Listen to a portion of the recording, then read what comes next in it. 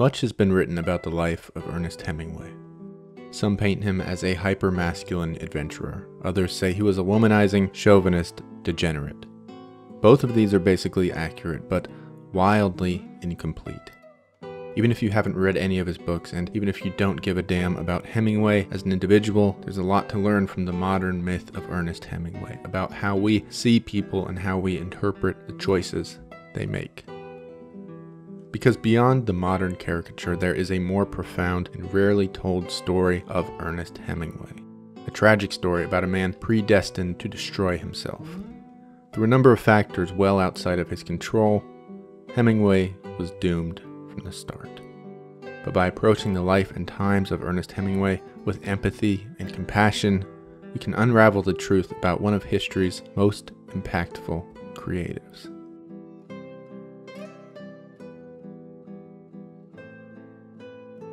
The New York Times called Ernest Hemingway the most significant author since Shakespeare.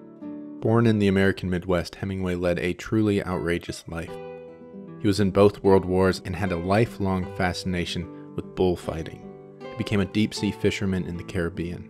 The man survived two plane crashes and hunted big game in Africa. Hemingway had four marriages. While it wasn't always pretty, there can be no doubt. Ernest Hemingway lived life on the edge. He channeled these experiences into his work. Hemingway showed a huge talent for writing from a young age. Throughout his life, his novels and short stories reached astonishing heights of critical and commercial success. He was a superstar. At the end of all of this, Hemingway ended his own life with a shotgun. We can never truly understand why a person commits suicide. But by examining each part of his life and his world, we can understand the circumstances that forged Ernest Hemingway. In the memoir A Movable Feast, Hemingway wrote, Families have many ways of being dangerous. Indeed, Hemingway's family was just that dangerous. Ernest Hemingway was born to Dr. Clarence and Grace Hemingway. He was one of six children. As soon as you examine his parents and then his siblings, very disturbing patterns begin to emerge. Dr. Clarence Hemingway was a strict Christian conservative and a vicious disciplinarian who likely suffered from undiagnosed bipolar disorder. He would spank and beat his son with a leather strap. Clarence suffered from abrupt, serious mood swings. These depressive episodes required him to spend large amounts of time in isolation, living far away from the Hemingways' Illinois home. Throughout Hemingway's life, his father expressed disdain for almost everything that the author produced. In one instance, he called a short story of Ernest's filth that should not have been published anywhere. Ernest's opinion of his father seemed to swing wildly throughout his life. There were times in childhood and adulthood when he admired Clarence Hemingway. But notably, as a child, Ernest had a ritual. Ernest would hide in his family's shed with a shotgun.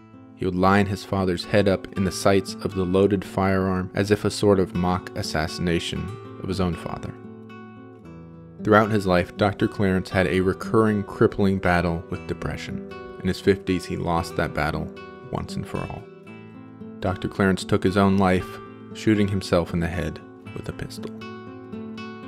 This is perhaps the moment that divides Ernest's life into a BC and AD. When his father died, Ernest remarked that it was as if his own life had been shot out from under him.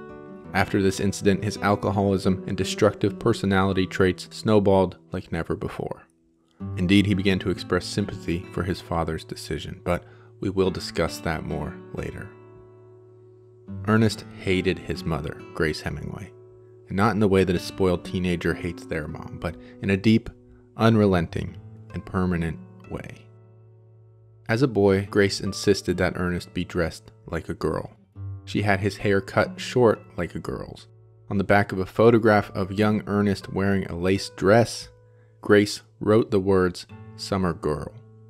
Grace even attempted to pass her son off as the twin of his older sister, Marceline. She was obsessed with this idea. Grace had Marceline held back a year in school so that the siblings would be in the same grade. But at the same time, she would praise Ernest for displaying masculine behavior. She complimented his skill at hunting and fishing and lauded him for his love of manly outdoor activities. Ernest's rage toward his mother began at a young age. Grace would often refer to Ernest as, quote, Dutch Dolly, while the boy called his mother Fweety. At the age of two, Grace once called Ernest Dutch Dolly, and he responded with, I not Dutch Dolly. Bang bang. I shoot Fweety. So in his childhood, Ernest expressed a desire to shoot both of his parents. When his father committed suicide, Ernest blamed his mother entirely.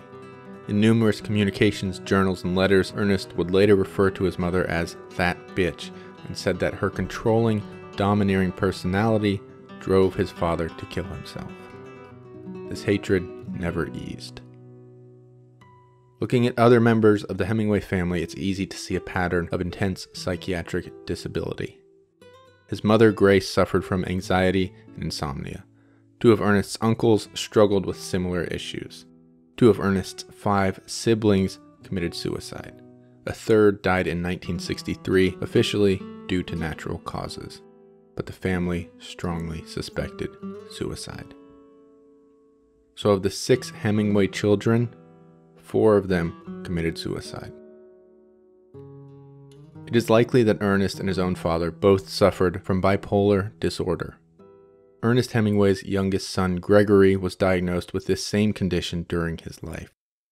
Although a practicing doctor, Gregory lost his medical license after having uncontrollable substance abuse issues. Throughout his life, Gregory's struggles led to multiple psychiatric hospitalizations and arrests. He eventually died of natural causes in a Miami jail. Ernest's granddaughter suffered from bulimia, depression, and a seizure disorder before eventually killing herself. That was six suicides in four generations of the Hemingway family.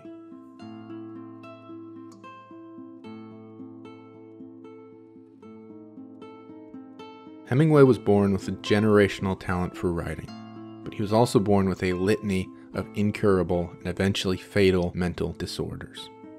Throughout his life, Ernest self reported depressive episodes over and over again. In one letter, he told a friend, I felt that gigantic bloody emptiness and nothingness, like I couldn't ever fuck, fight, write, and was all for death. This is just one example, but he would go on to report profound instances of depression throughout his life. Hemingway's first major biographer categorized him as a temperamental manic depressive and said that he swung wildly forever between megalomania and melancholy. This biographer wrote that his mood swung so quickly that he may as well have been exhilarated and depressed at the same time. This radical swinging would manifest itself in his work too.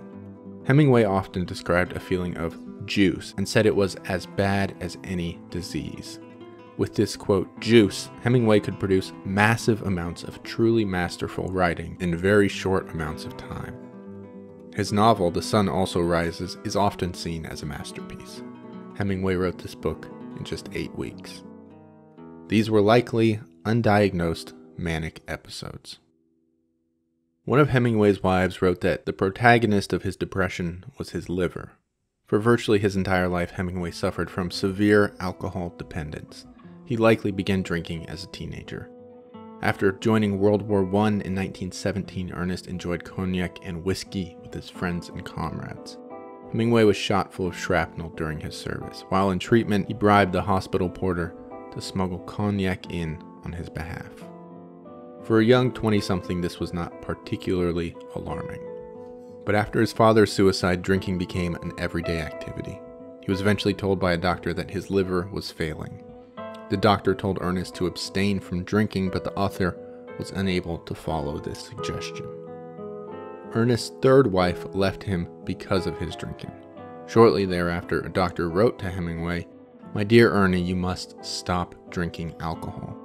This is definitely of the utmost importance. Unfortunately, Ernest was never able to control his drinking.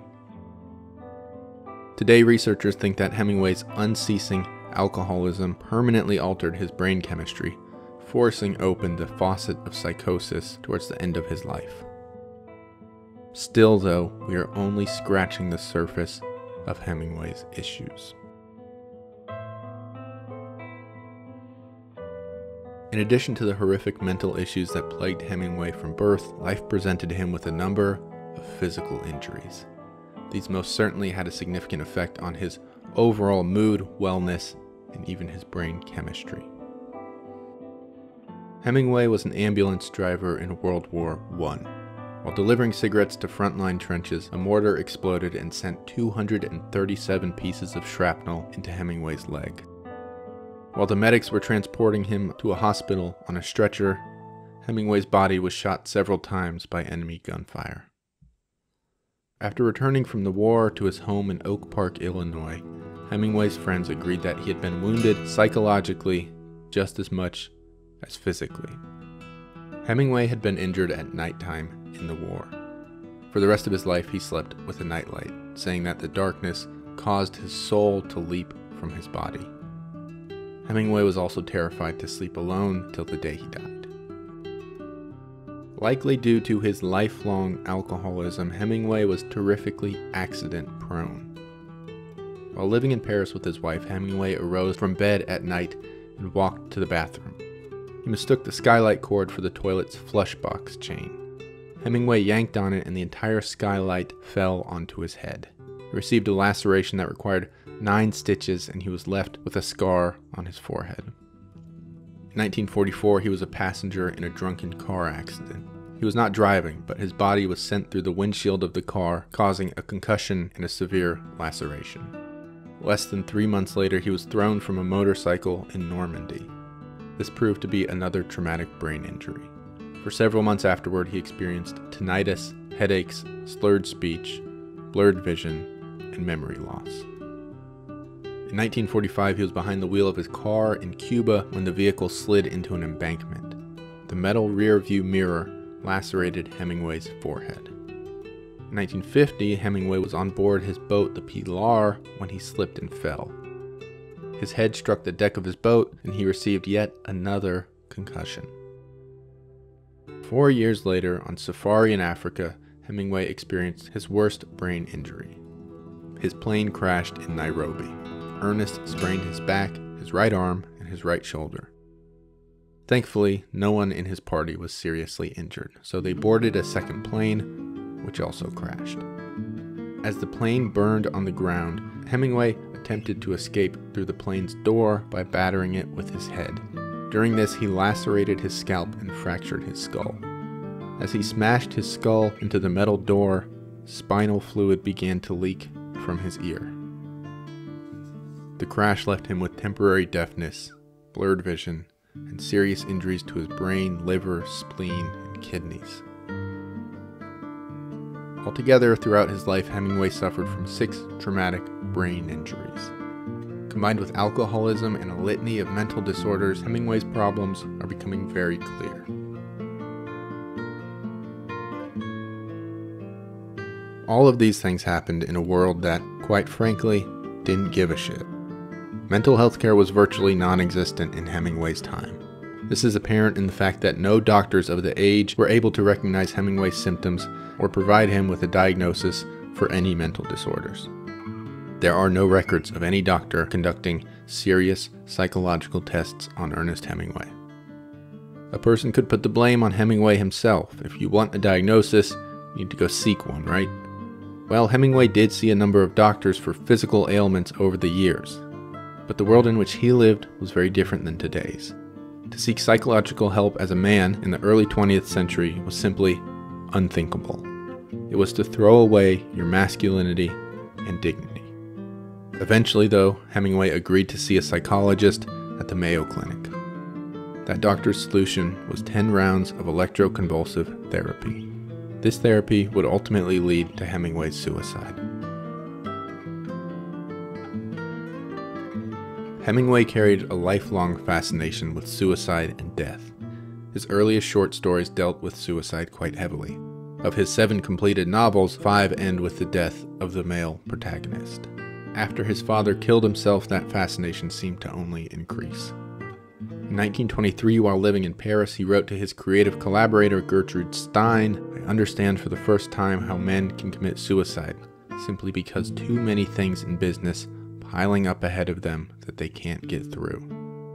The following year, he made another remark about suicide in a letter to his friend Ezra. I still claim that anyone that wants to can do it. things are looking better, and I look forward to not giving a demonstration of my theory for some time.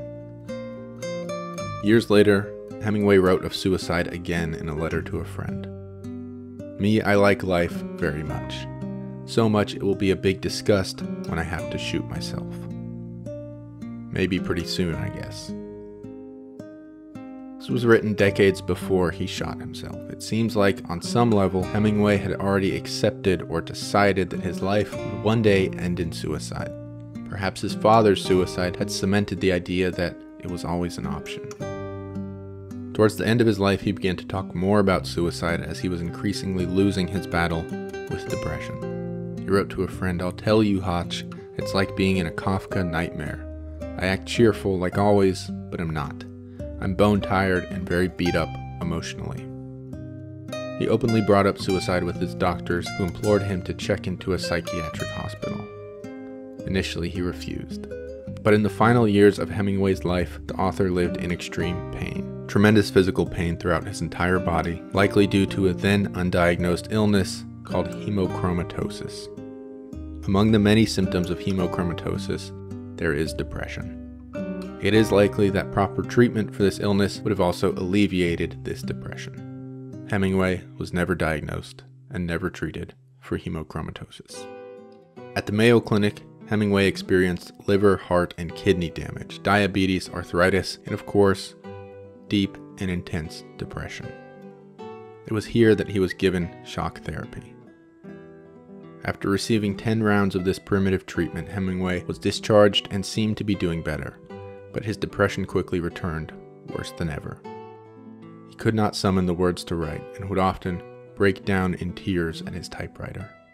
Years of brain trauma, alcohol abuse, and now electroconvulsive therapy in a world that did not care or know how to handle him had robbed Hemingway of his greatest gift.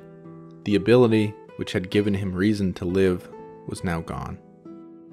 In April of 1961, Hemingway's wife thwarted his first attempt at suicide when she found him loading a shotgun. He was hospitalized immediately. At the hospital, he asked to return home to pick up some personal items. Ernest was chaperoned to his home. When he arrived with his chaperones, he ran from them and got to his shotgun. As he turned the gun on himself, the chaperones caught up and wrestled the firearm away from Hemingway. Ernest Hemingway was transferred to the out of state Mayo Clinic again for another hospitalization. Halfway through the journey, the plane landed to refuel. Hemingway got out of the plane and tried to walk into the spinning propeller. The pilot cut the engine, thwarting Hemingway's third suicide attempt in four days. Around this time, Hemingway believed he was being followed by the FBI. His wife and those around him insisted these were just delusions of an insane man. In truth, years later, it would be revealed that the FBI had been monitoring Hemingway for decades. They had amassed a huge file on the author, who they believed to be a communist sympathizer. When he arrived at the Mayo Clinic, Hemingway received another round of electroconvulsive therapy. He was discharged days later. His wife feared that Ernest had charmed the doctors into believing he was sane. He was not well. Days after arriving back home, Ernest Hemingway woke up before his wife and shot himself in the head.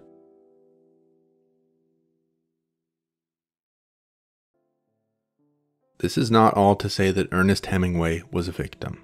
He made a lot of really bad choices. He was a womanizer, an often terrible father, and an ego obsessed liar. But I do believe we should look deeper than these labels. Whether we categorize Hemingway as a man's man who lived a life of adventure or an alcoholic misogynist, we are equally correct and incorrect. We should consider not just the who of Hemingway, but also the why and the how. We should carry some empathy and compassion into conversations about people, perhaps especially the dead, because they are not here to make their own case.